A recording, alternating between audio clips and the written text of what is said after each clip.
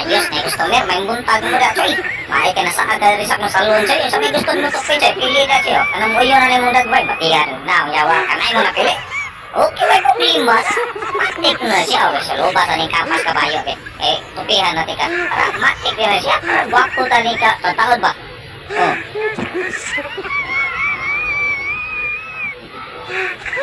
Yawa ra, oh. Kapa ko lang ginadaan siya, eh. Guwapo na kayo, choy. Kanda akong gusto. Problema, ginamatik na siya. Sa ako'y mutupin mo siya. Huwag problema siya. Matik na siya. Wapo kayo ni kumara tutupi siya. Kaya ako sa nangipyo ka niya ito ko. Bikin mo. Kagiro mo siya ng ura. Kitanggalan ko na yung kubon be.